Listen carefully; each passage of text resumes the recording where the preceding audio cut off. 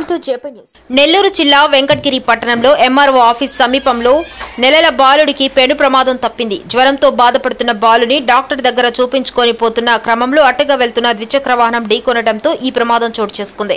ఈ ప్రమాదంలో బాలుడు ముఖానికి చిన్న చిన్న గాయాలయ్యాయి. మరోపక్క మార్కెట్ వీధిలో పార్కింగ్ చేస్తున్న కారును టాటా ఏసీ వాహనం ఢీకొనడంతో ఒకరికి గాయాలయ్యాయి. ఇలాంటి ప్రమాదాలు పోలీసుల దృష్టికి పోకుండా పట్టణంలో పదుల సంఖ్యలో రోజు జరుగుతూనే ఉన్నాయి.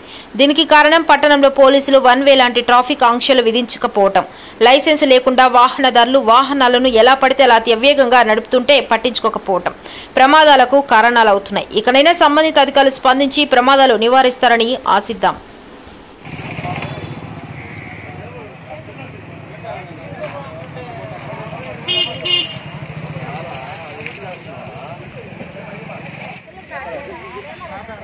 ஓகே போதும். நானே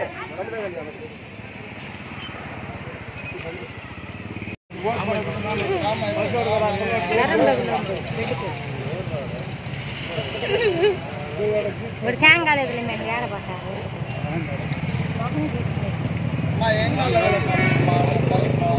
ஜரம் வந்து ஜரம் பார்த்துட்டேன் பார்ப்போம் பார்த்துட்டு இந்த ஜரம் இந்த இதெல்லாம்